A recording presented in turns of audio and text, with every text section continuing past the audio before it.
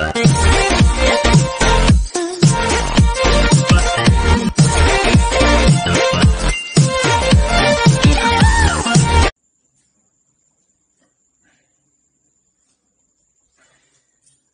my dear friends and my students. Today we start the last part of the chapter Haloalkane and Hello Haloarenes for the aspect of NEET, JEE and your board examinations.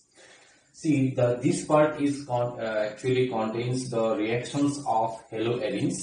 So reactions of haloarenes there are several reactions for haloarenes. These are nucleophilic substitution reaction, reaction with the active metals halogen, halogenation reactions, nitration reaction, sulfonation reaction, alkylation and acylation reaction.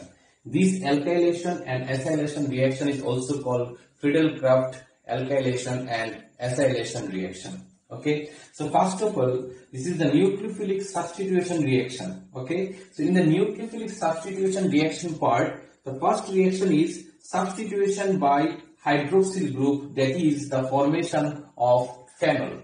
Okay, so this is your chlorobenzene. This is chlorobenzene. When the chlorobenzene treated with sodium hydroxide at 623 Kelvin temperature and 300 atm pressure, then you get sodium phenoxide. Okay, in benzene you get ONA. This is called sodium phenoxide. And when this sodium phenoxide react with dilute H plus, okay, or dilute acid, uh, it really uh, release uh, remove NaCl and you get phenol as byproduct. So what is the reaction? This is the substitution by hydroxyl group and that is the formation of phenol. And what happened here? Here you have chlorobenzene. When chlorobenzene reacts with the sodium hydroxide followed by treatment with HCl, you get phenol. And here the uh, middle product that is the um, that is called sodium phenoxide. Okay. So this is substitution by hydroxyl group. And the second one is the substitution by NH2 group, means amino group. Okay, if you substitute uh, this Cl by uh, NH2 group, then you get aniline. Okay, this is chlorobenzene, and when chlorobenzene react with ammonia in presence of cuprous oxide at 475 Kelvin and 60 atm pressure, then you get aniline, your main product. Okay, now after that, the substitution by cyano group okay? So when say you have a bromobenzene this bromobenzene when react with CuCN in presence of pyridine at 475 Kelvin temperature then you get a cyanobenzene. And now this cyanobenzene when react with concentrated HCl or alcoholic hydrogen peroxide then you get uh, benzamide benzene ring CONH2 in benzene ring you give CONH2 this is benzamide and when this cyanobenzene react with dilute HCl or NaOH, then you get benzoic acid. Okay. And very similarly, when you react uh, this cyanobenzene with uh, uh, lithium aluminum hydride or sodium oblique ethanol, then you get benzyl amine. Okay. So this is the reduction reaction. Okay. This is partial hydrolysis and this is hydrolysis. Okay. Means from cyanobenzene you get these different products. See this reaction also we studied in the reactions of haloalkane part. Okay, from that RCN is there and for, very similar reaction you get RCONH2, RCOOH and RCH2NH2. Okay, so these are the substitution reactions so you have to follow these. The, the nucleophilic substitution reaction by presence uh, in the presence of nucleophile, you get the different products. So from chlorobenzene you will get phenol, and from chlorobenzene you get aniline, and from bromobenzene you get cyanobenzene, and from the cyanobenzene you get different products. So if in a question someone asks you how can you convert, how can you convert benzene, benzene to phenol? Okay benzene to phenol. How can you convert benzene to phenol? Okay, so how can you prepare? You know that, that from chlorobenzene you can prepare phenol. Okay, so now if from benzene, if you prepare uh, chlorobenzene, from chlorobenzene you can prepare phenol by using this process. So how can you prepare chlorobenzene? You just give chlorine in presence of FeCl3, then you get chlorobenzene. Already we studied in the preparation of haloarenes, preparation in the part of preparation of halogen part we, uh, we know that how we can prepare that benzene to chlorobenzene and when we get chlorobenzene from that chlorobenzene we prepare phenol. So in this way you convert that uh, benzene to phenol. So if someone asks you how can you prepare uh, how can you convert benzene to benzoic acid so what you have to do, first of all, you have to prepare the chlorobenzene and when, when chlorobenzene reacts with CuCN, you get cyanobenzene and from the cyanobenzene, you will uh, you, by a hydrolysis, dilute HCl and NaOH, then you get benzoic acid. So these are the conversions uh, you can um, remember that these are important conversions. If you study uh, that the reactions then you can uh, convert the reaction also. Okay now see, after nucleophilic substitution reaction, second, uh, next one is the halogenation reaction. Okay, halogenation reaction and uh, halogenation, then uh, sulfonation, nitration, alkylation, acylation reactions. So see, uh, next is the number B or number 2, that is the halogenation reaction. Okay, halogenation reaction. So halogenation reaction say you have chlorobenzene and you remember the halide group, the X group is ortho and para directing. Okay, ortho and para directing. You remember this thing, X is ortho and para directing. So when uh, means for the halogenation you have to add a uh, chlorine atom. Okay, uh, you have to add a chlorine. Then you uh, get this product Cl Cl plus Cl and Cl in presence of anhydrous AlCl3. Okay, so this is uh, from the chlorobenzene you will get ortho and para product because chlorine is the ortho and para directing. And the next one is uh, halogenation. After halogenation, uh, nitration reaction. Nitration reaction so in nitration reaction, what you have to do that uh, you you have chlorobenzene and you give uh, HNO3 concentrated concentrated uh, HNO3 and concentrated sulfuric acid H2SO4 then you get uh, ortho and para product ortho and para product this is para. And you remember that among ortho and para, para, uh, para product is more stable than that of ortho. Because in ortho there is steric hindrance and in the para position there is no steric hindrance. So that's why para, uh, para product is more stable than that of ortho. So this is your nitration reaction and after that the sulfonation reaction. Okay. Sulfonation reaction. So in sulfonation reaction, say you have chlorobenzene and you give H2SO4 and heat this reaction, then you get uh, SO3H plus. In para position also, you get SO3H. Okay. This is sulfonic acid okay this is uh, orthochlorosulfonic acid and this is parachlorosulfonic acid and this is the more stable one than that of ortho. I will discuss why because here is more steric hindrance than that of this. So this is your sulfonation reaction. So halogenation nitration and sulfonation reaction and after that so you just remember that uh, here the chlorobenzene is ortho and para directing as they are ortho and para directing so we get the ortho and para product only. Okay. Now see after that number 5 Number 5 is acylation and alkylation reaction. Okay, acylation and alkylation reaction. Number 5 is acylation and alkylation. Alkylation reaction. This reaction also called Friedel-Crafts acylation or alkylation reaction.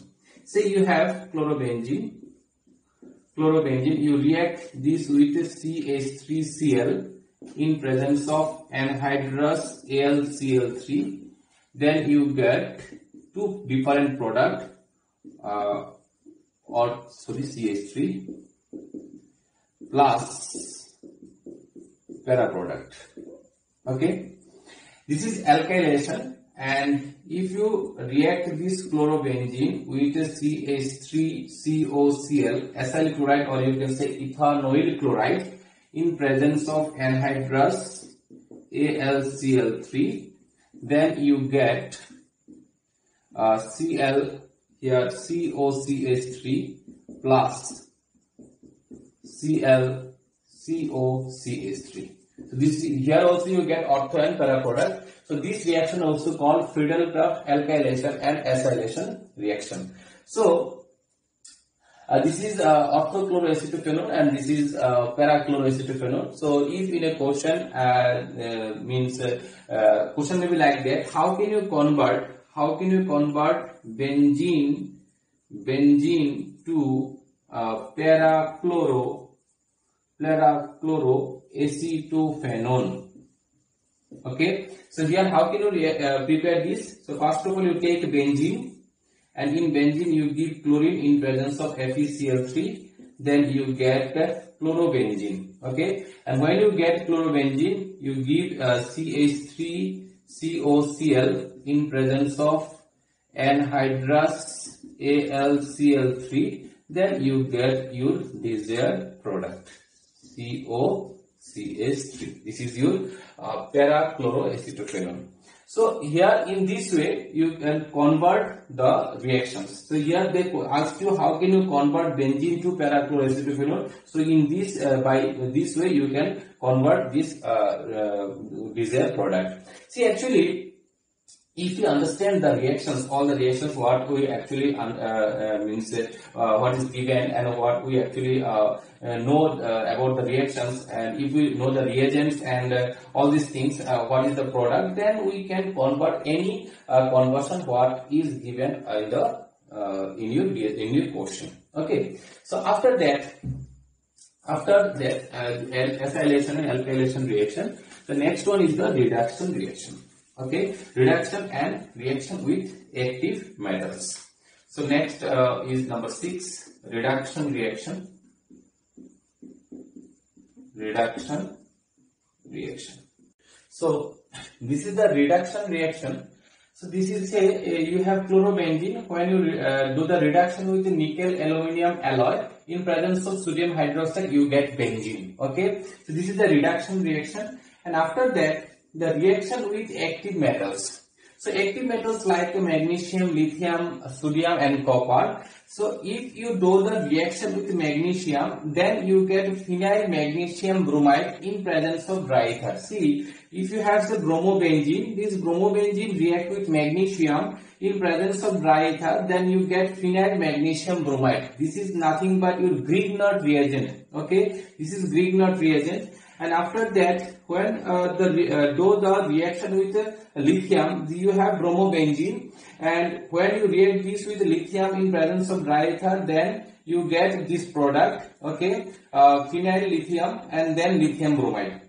And after that when you uh, react this reaction with sodium then say you have uh, phenyl chloride okay or chlorobenzene and react with sodium in and methyl chloride you take then you get toluene as product by as main product and sodium chloride is the byproduct. So this reaction is called Wurtz-Fittig reaction okay? This reaction is called Wurtz-Fittig reaction. So how can you explain that Wurtz-Fittig reaction? You can say when chlorobenzene react with sodium and uh, uh, sodium and methyl chloride we get toluene as product. And this reaction is known as Wurtz-Fittig reaction. Okay? And now see uh, when the chlorobenzene react uh, two molecules of chlorobenzene two molecules see here this is one molecule this is another molecule. So two molecules of chlorobenzene react with sodium and we get biphenyl or diphenyl. Okay? This is biphenyl or diphenyl and this reaction is called Fittig reaction. Okay? This reaction is called